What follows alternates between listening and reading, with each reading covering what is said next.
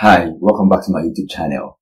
In today's video, I want to speak about unleashing the power of faith, embracing God's goodness. We are all too familiar with the expression, God is good all the time. But most of the time, many believers only say this as an anthem without faith attached to it. Because when life issues hit, most times we ask ourselves, if God is really good, this should not happen. If God is really good, maybe we should not be going through this. We should not even be having this conversation about this hardship, about this turmoil, about these things that I'm going through. The aim of this video is for you to embrace the goodness of God such that the power of faith could be unleashed, which will help you have hope in times of despair. And there's so many good with it when your faith is attached to embracing the goodness of God. Psalms 34 verse 8 says, open your mouth and test, open your eyes and see how good God is.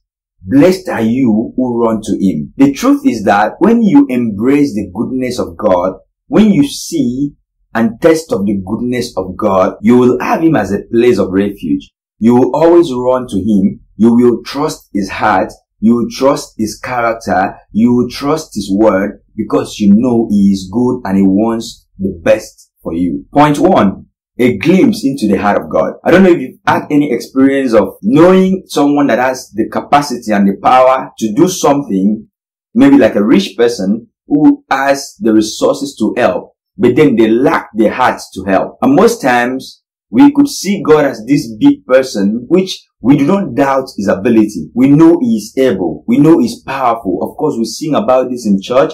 We talk about this all the time. We've seen the acts of power that he has expressed. So we do not have a problem of believing that God is powerful. We do not have a problem of believing that God is able. We do not have a problem believing that God has the capacity to do what we need Him to do. But most of the time, the problem we have is believing that God is good, that He has the heart and willingness to do the things we ask of Him. And this is clearly expressed in Matthew when Jesus had an encounter with a man that had leprosy. Scripture says, Suddenly a man with leprosy approached him and knelt before him.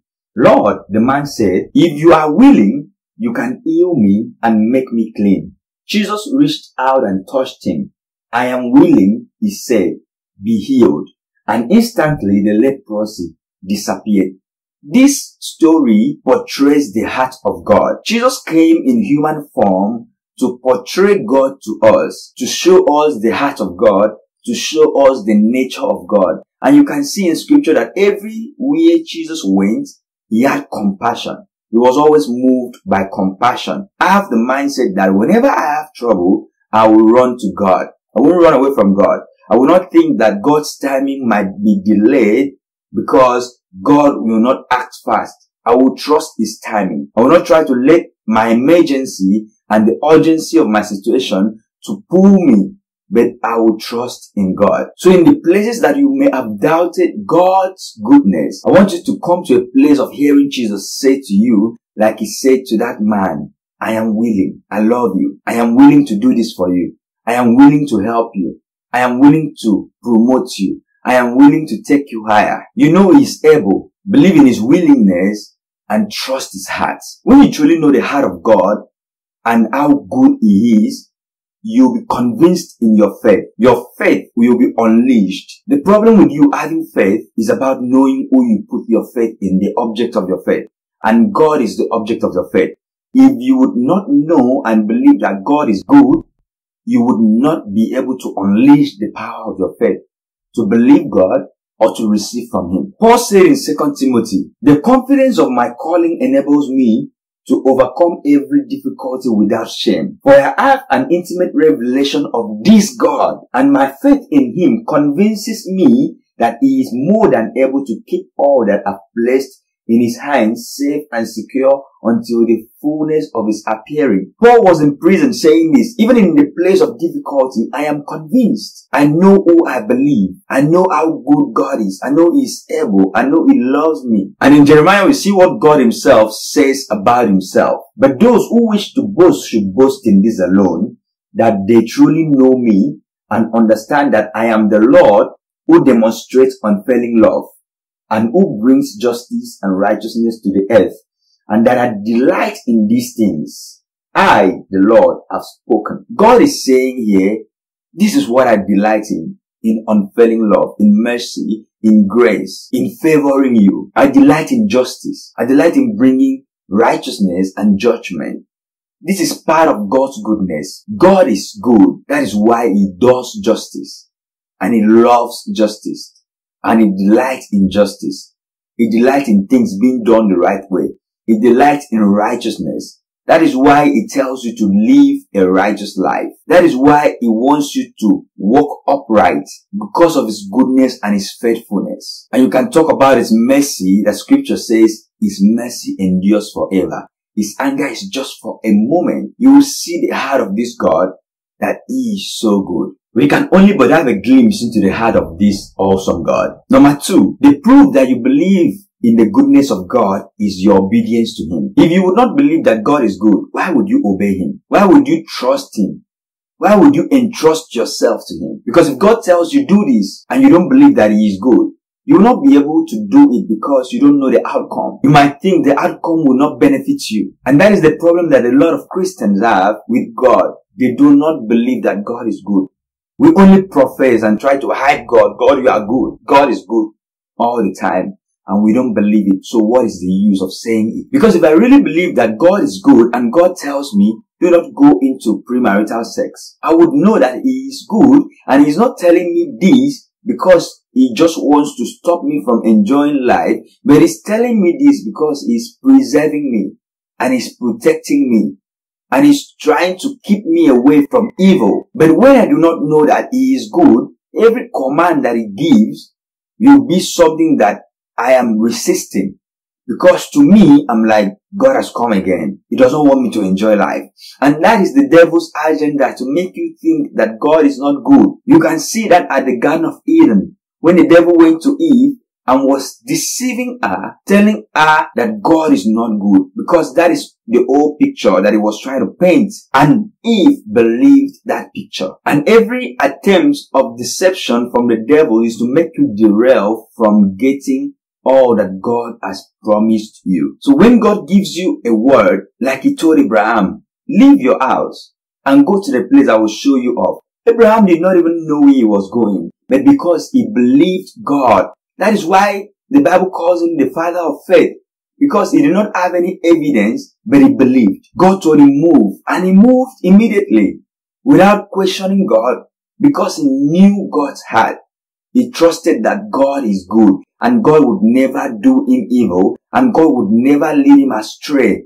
And that is the kind of faith that can be unleashed when we trust God's heart. But if we do not trust God's heart, we will keep on dabbling in disobedience. So I want you to have this outlook of life that whatever God tells you to do, it is for your good. God does not tell you to do something that will not benefit you. Everything you do, which you claim that you do for God, is not benefiting God but you. Serving God, being in God's presence, giving your time to study the Word of God, it is actually for us. Is for you and me. If I'm fasting, I'm not fasting to make God become bigger. I'm fasting to get acquainted with God. If I'm praying, I'm not praying for God to have more money to give me. I'm praying such that I can embrace His goodness. So everything I get to do, which is a privilege that I even do these things, every act of service that I serve God with, it is for my good. Now in scriptures in Matthew, this man came to Jesus and called him good master. And when I was studying the scripture, I was asking myself, why did Jesus kind of question him? Now behold, one came and said to him, good teacher, what good thing shall I do that I may have eternal life? So he said to him, why do you call me good? No one is good but one, that is God. At the end of the day, Jesus had this conversation with him and he told him, go sell all your goods and give it to the poor and come and follow me because that is the good thing that you are to do to gain eternal life. And this man on his own could not do that because his heart had been captured by his riches and he could not trust that Jesus, whom he called good, is really that good. So this is to affirm the point that when you obey God, it is a proof that you believe in the goodness of God. Number three, understand God's loyalty. When you look at life, you realize that people only label others good because the person is loyal or because the person obeys. them. And a parent would label his or her child good. This is my good child because the child obeys them and the child is loyal to them. Now I want to portray this to our mindset that we have towards God because most times we feel like God is only good when he does good to us. We call God good when good things happen to us, which means the reverse would stand true that when bad things happen, we'll be like, well, is God really good? And we would doubt his goodness. And when you come to a place of understanding God's loyalty, you would know that God is not answerable to you. God is not loyal to you. And yeah, that is a hard saying. He's not loyal to you to do everything you desire, to do everything you want, to go by your timing. No. You and I are answerable to God. God is only loyal to His word, to His will, to His ways, to His plans, to His promises, to Himself. So if you want to test of the loyalty of God, we have to align with His word, align with His will, align with his promises, align with everything he has said. That is only when we can test of this goodness, of this loyalty of God. We can't test of it outside of us accepting his word and believing his promises. In the book of Numbers, God told Israelites, go and possess the land. And they are in this place that they doubt God's heart and they operated in disbelief to God's promise. And in Hebrews chapter 4, it talked about them that they could not enter into the promise because they did not mix the word of God with faith. And this is to encourage you to know that God is loyal to his word. So if you have heard a word from God, mix that word with faith and run with it. Unleash the power of your faith and embrace the goodness of God such that you will appropriate all that God has promised you. I bow down before your divine presence and bring you my deepest worship as I experience your tender love and your living truth. For your word and the fame of your name have been magnified above all else. This scripture is simply saying God exalts his word and his name above everything else which is God is loyal to his word. He is committed to keeping his word and his name. He's not committed to our emotions and our feelings. He's not committed to the words will be like, God, if you're really good, you will do this for me. He's not committed to that. He's committed to his word and his name. Psalms 119 says, you are good and do only good. Teach me your decrees. Now this is a place of coming to submit your heart to God because you know He is good and He does good. God, teach me your decrees because I know when I walk in your decrees, that is the only place that I receive the good from you. It is a place of coming to the joy of knowing that I have no good beside you, God. You are my only good thing. If we are unfaithful, He remains faithful, for He cannot deny who He is.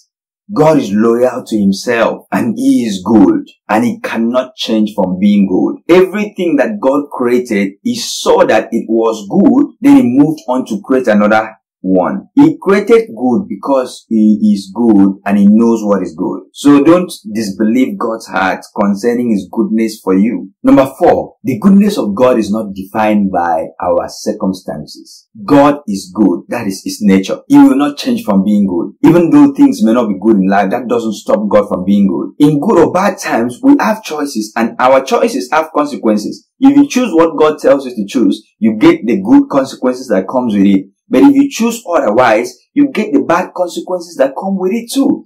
And the scripture says that God has made man perfect, but man has chosen many inventions. Man have gone on his own way. We have all chosen our own ways against the way of God. And that will not change who God is. Because scripture has already said, even if we are unfaithful, even if we are faithless, God will still remain faithful he will not deny himself. So whether it is good or bad times, our experience of life does not define God's goodness. But God's goodness remains constant. The scripture says, every gift God freely gives us is good and perfect, streaming down from the Father of light, who shines from the heavens with no hidden shadow or darkness and is never subject to change. So God gives what is good freely and he is not subject to change. Since God decided to give us the breath of life and he breathed into our nostrils and we live,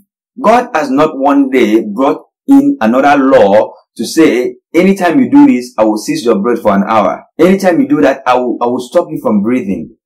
We know that there are so many things that happen in life, but you can see the goodness of God in the free gift He has given to us. But then when you come to personalizing the goodness of God, there's so much more that you can get from God. Loads of goodness and benefits if you can only embrace His goodness, that His goodness is not affected by your circumstance. I know that for my life, I've asked God a number of times, why me? I had a gas accident, gas explosion in my home a few years ago, and I asked God, why me, deep within my heart? And the answer I got from God is, but you're still alive. And that humbled me. To me, in my mindset, I thought that God would not even let anything that looks like evil to come to me. Because that is what we think as believers, that I should not even know it, I should not even experience it. But do you know how many accidents God has saved you from that you do not even know?